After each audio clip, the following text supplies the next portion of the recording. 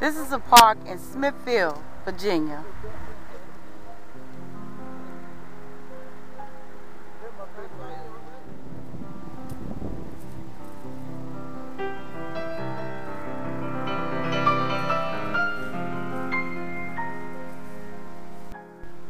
This walk the pier.